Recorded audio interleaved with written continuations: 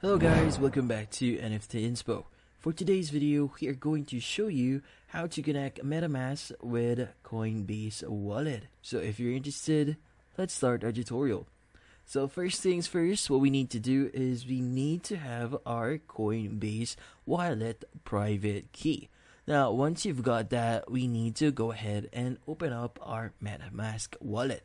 So at the top right of your screen, you should see your MetaMask extension. So let's go ahead and click on it.